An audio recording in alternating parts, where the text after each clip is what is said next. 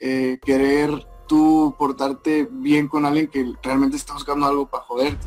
Me he decepcionado tanto que espero mucho de las personas y tiendo a decepcionar.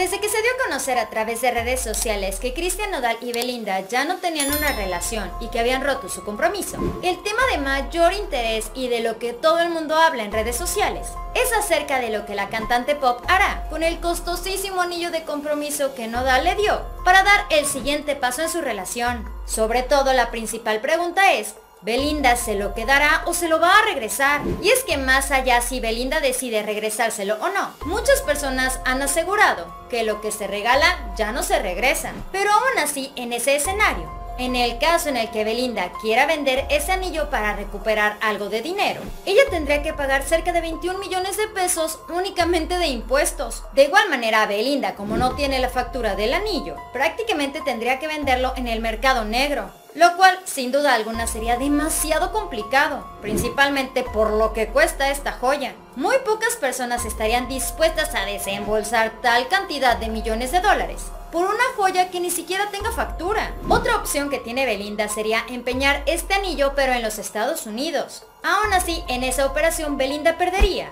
más o menos la mitad del valor del costo del anillo. Es bastante común que en ese tipo de establecimientos y negocios el avalúo sea muy muy inferior a lo que en realidad valen este tipo de joyas, por lo que tampoco sería una muy buena opción que Belinda pueda tomar, dándole 100 mil vueltas al asunto viendo todas las opciones. Si acaso Cristian Odal no le pide de regreso ese anillo, pero no le da la factura, otra opción que tiene la cantante pop es ir a una casa de joyería muy reconocida y solicitar que el anillo se divida en muchas partes y que se hagan diferentes joyas a partir de un solo anillo.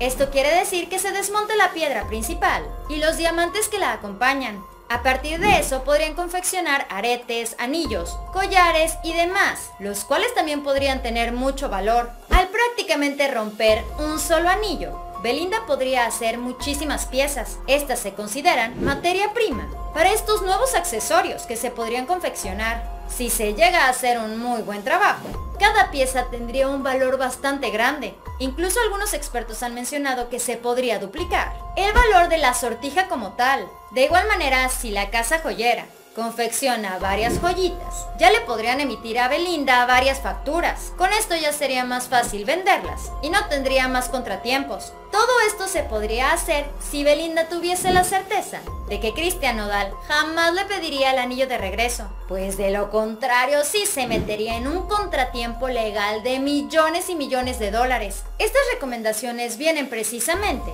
de un grupo de comerciantes que pertenecen al centro joyero ubicado en el centro histórico de la conocida Ciudad de México.